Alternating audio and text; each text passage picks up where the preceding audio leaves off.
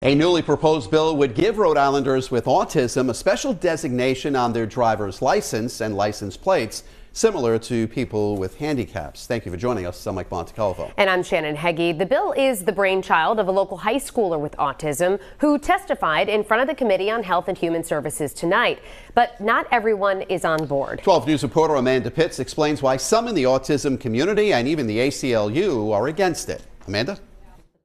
The lawmaker who introduced this bill said it aims to improve communication between people with autism and police officers. But some people in the autism community and the ACLU say it will just increase stigma and discrimination. A new bill is causing some Rhode Islanders with autism to sound the alarm, and they didn't hold back in the State House Tuesday. This bill will increase stigma instead of decreasing it. The bill would put an autism marking on a person's driver's license, an autism decal on their vehicle, and a blue envelope inside their vehicle with ways to enhance communication between them and police. That get stopped for maybe rolling through a stop sign, maybe going a little too fast, or whatever the case may be.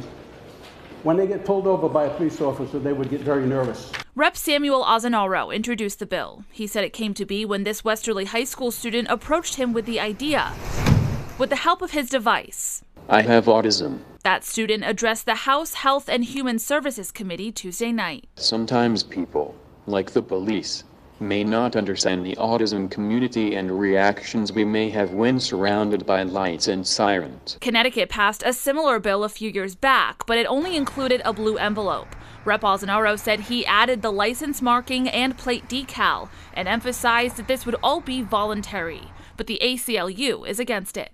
But we really think it should be the goal that police approach every interaction with the same amount of compassion and dignity, regardless of whether an individual has chosen to visually alert law enforcement that they are an individual with a specific disability. Those in the autism community agree.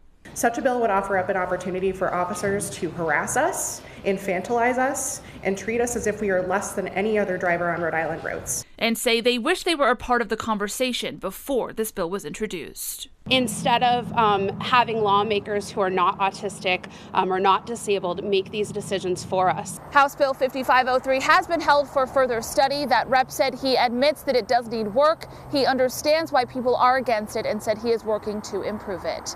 I'm Amanda Pitts, 12 News.